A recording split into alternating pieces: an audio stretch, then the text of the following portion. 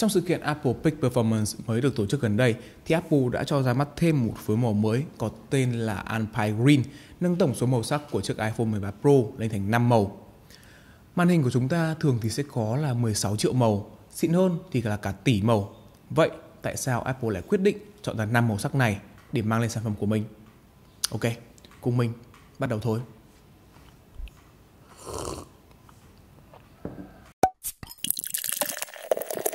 Anh em ơi!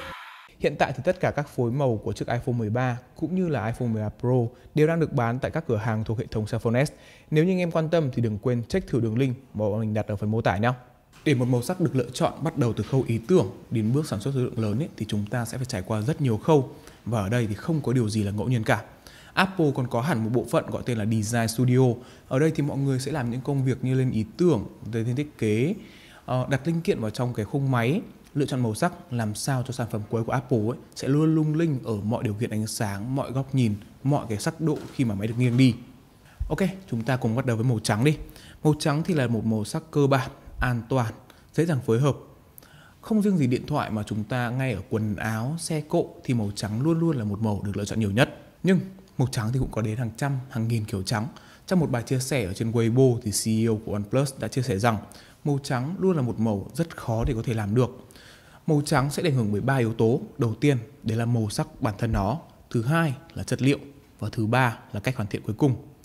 Chỉ có một sự thay đổi rất nhỏ ở một trong ba khâu cũng sẽ dẫn đến một sản phẩm cuối cùng hoàn toàn khác biệt. Không hào nhoáng như màu gold, nhưng bạn chỉ cần chọn được một chiếc ốp lưng phù hợp thì bạn có thể biến hóa màu sắc cơ bản trang nhã này trở nên nổi bật hơn hoàn toàn những cái màu sắc khác. Tương tự với trắng, màu đen là màu đã được xuất hiện trên hầu hết những sản phẩm của Apple trong vài năm trở lại đây chúng ta vẫn sẽ có một chút khác biệt với cách đặt tên như trước đây thì là Space Gray hay bây giờ là Graphite. Nam tính, mạnh mẽ, cứng cáp, ba tính từ ấy thôi đã thể hiện được quá rõ nét tính cách của màu sắc này rồi, khỏi nói nhiều làm gì. Gold, sang chảnh, tranh xả. Nếu anh em là kiểu người thích trưng diện một chút, bling bling các thứ thì chắc hẳn rồi, Gold sẽ là phối màu dành cho anh em.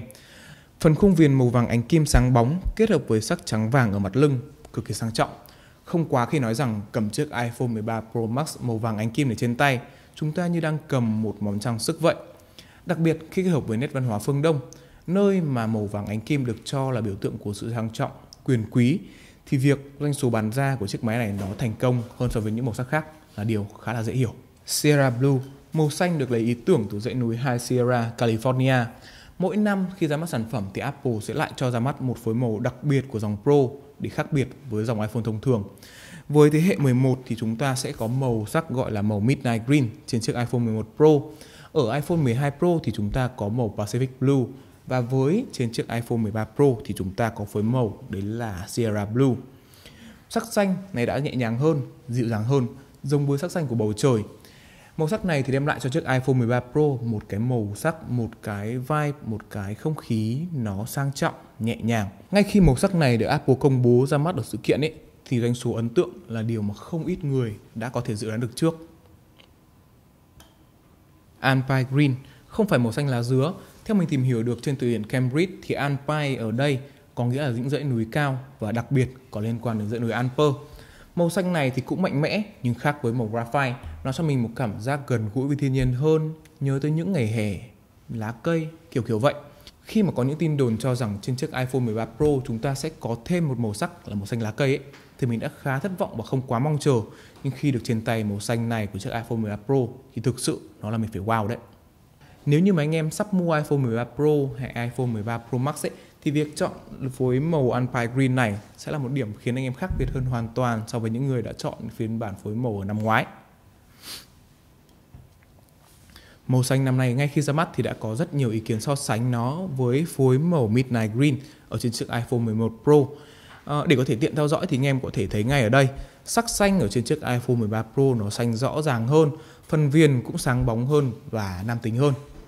Cứ mỗi sự kiện giữa chu kỳ sản phẩm thì Apple sẽ lại cho ra mắt thêm một phối màu mới chưa từng có. Với iPhone 12 thì là màu tím, iPhone 13 Pro thì là màu xanh lá. 11 thì giống với 13. Có lẽ nào iPhone 14 cũng sẽ giống với iPhone 12, đó là màu tím. Thế hệ iPhone 14 của Apple sẽ phải đến tận cuối năm nay mới được ra mắt Thế nhưng những tin đồn về mẫu máy này hiện tại cũng đã tràn ngập trên Internet. Thiết kế cụm căm sau phẳng, mặt trước thiết kế đục lỗ hình viên thuốc và màu tím cũng là một trong những màu sắc được đồn đoán trước. Về cơ bản thì những tin đồn đều cho rằng chiếc iPhone 14 Pro vẫn sẽ được hoàn thiện theo kiểu nhám của chiếc iPhone 13, 12, 11 trước đó cùng với sắc màu tím. Anh em nghĩ sao về những dự đoán này? Nếu như chiếc iPhone 14 Pro thực sự sẽ có phiên bản màu tím thì anh em có thích nó hay không? Và ngoài ra thì với những phối màu đang có ở chiếc iPhone 13 Pro, màu sắc nào là phối màu mà anh em cảm thấy hứng thú nhất, cảm thấy anh em thích nhất thì đừng quên comment ở phía dưới nhé.